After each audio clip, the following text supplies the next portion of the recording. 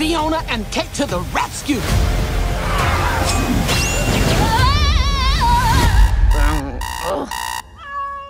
I don't want to go to work.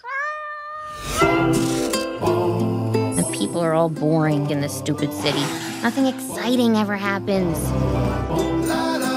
Why did you stop writing Fionna and Cake stories? Uh, I didn't write those. Ice King wrote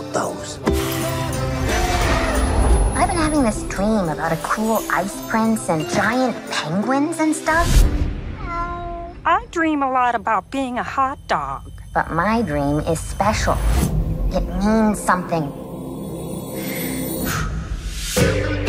Holy cow! I'm in a whole other world. Cake! Hey, cutie.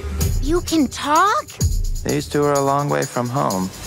Oh my god, this is one of my top three fantasies.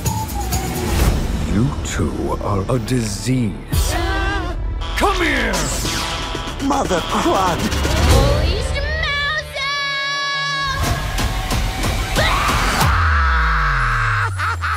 What? If you don't help us, Simon, our world and everyone we know will die. Are you thinking what I'm thinking? Always, bro. Action stuff. Found you. Now that is a party I don't want to miss.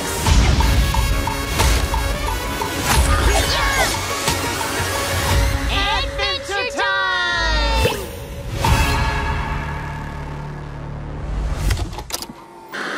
Everything bagel, right where I left it.